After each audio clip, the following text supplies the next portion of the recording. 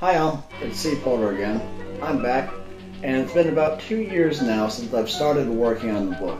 What has happened in all this time? Well, a lot has happened actually, and over the last year I've been having many things going on in the background. I've just started on a new chapter recently, and I hope to get that out by the end of this year so I can start going on through the late 30s all throughout 2023 and go, maybe even go into the early 40s by that point. I'm going all around. Over the last couple months, I've been going to several archives like the uh, the New York Public Library, um, Library of Congress, um, American Federation of Musicians, and otherwise, and requesting info for stuff.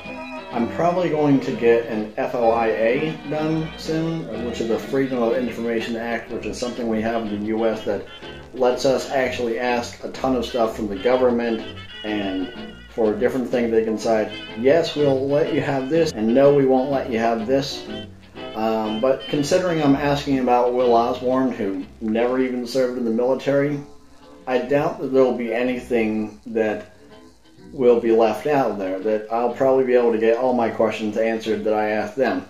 So that'll be good too.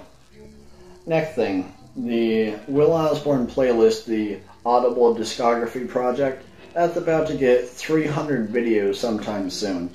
Um, it's about 10,000 views. I can't check the views right now because of YouTube's most recent update, um, which screwed stuff up with the playlist, but hopefully, unlike other things, they'll actually fix that.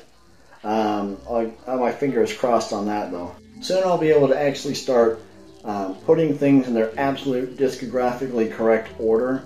I haven't really wanted to do that before because of how incomplete it has been. But it is very much complete now, but I still think there's about, and just for actual release stuff, not including all the transcription stuff that happened in the 30s and 40s and all that, just with actual release 78s, there's still probably about 40 or 50 of them out there that are just, you know, um, yet to be found, so I still have to do that. I'm still doing stuff with that. I'm not slowing down anytime soon, but it just takes a while to find stuff individually, checking weekly, if not bi-weekly, for different uh, different stuff appearing online on Internet Archive or on YouTube or wherever else, and also sometimes buying stuff myself. I kind of put myself on a budget for how much I can do with Osborne stuff uh, monetarily. So I have I have to think about that a lot. Maybe I'll do something with the Patreon that could alleviate that at some point, but I don't know. Speaking of new stuff regarding Will Osborne on YouTube, if you've searched Will Osborne in the last week, chances are you probably found a lot of these Abbott and Costello radio programs uh, that are there from like different years. These go up and down all the time. The reason why you're getting that is because Will was one of the band leaders that hosted the Abbott and Costello show in 1945. He was on for about, give or take, 30 broadcasts altogether between March and December.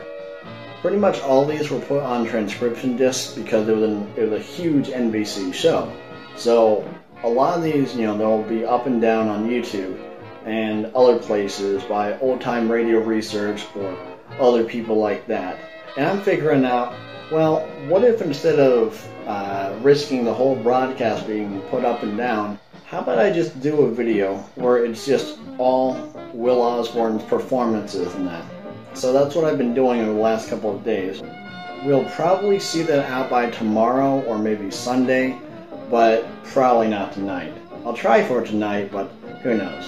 This stuff includes instrumentals that he did, um, actual acts that he did with Abbott Costello, stuff sung by Lou Costello and the Andrews Sisters, uh, Connie Haynes, um, Bob Matthews, really great voice, and some other stuff in there too.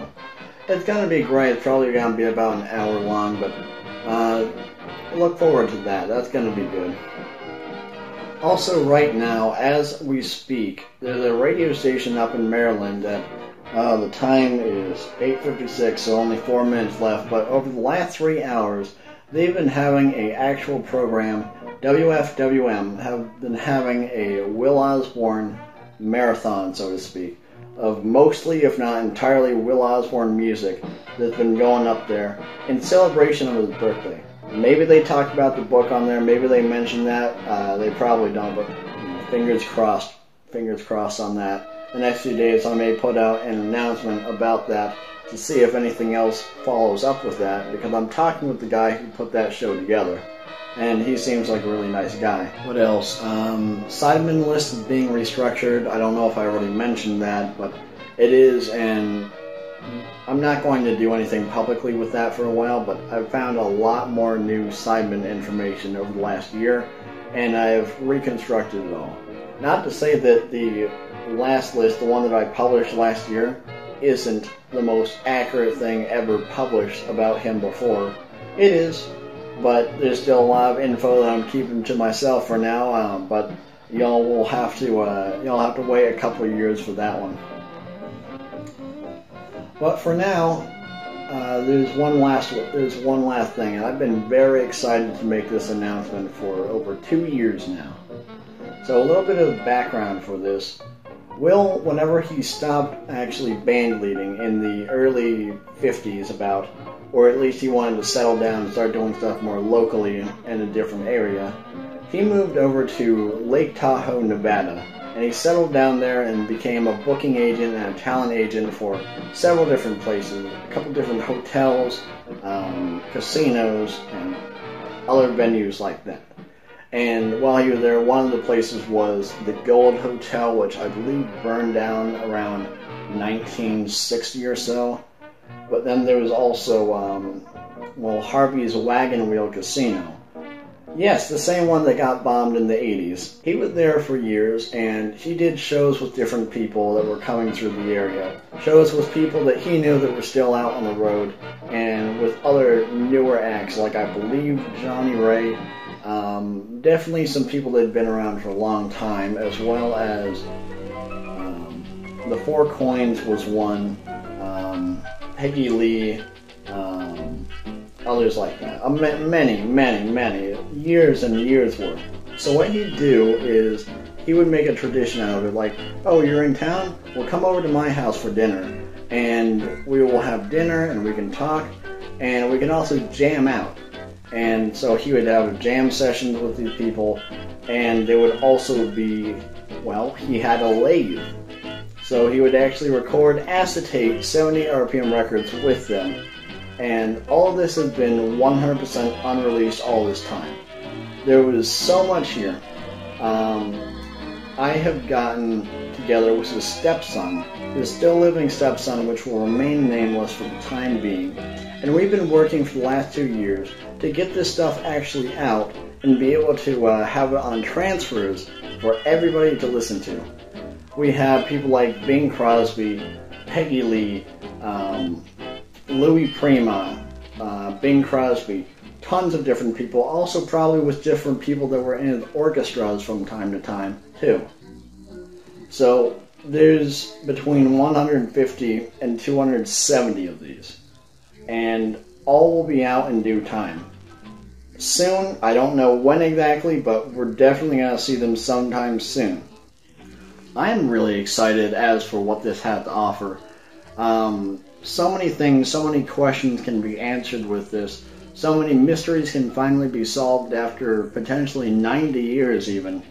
And as well as I think just for the amount of just different people in here, just completely new, completely new content, this will be definitely a huge revelation in the jazz world. Um, and other music parts of the world, honestly, I, I, I feel. So yeah, that's gonna be something, probably the biggest thing to look forward to. I am very stoked about it, and I hope that you guys are too. So that's it from me for now, and there will be more, there's definitely gonna be more stuff coming, as I said prior. And yeah, I'm looking to 2023 for the book. I'm very excited for it. I'm looking toward the future for that. I'm very envious of what has to come for the next year. This is C. Porter. I'll see y'all around.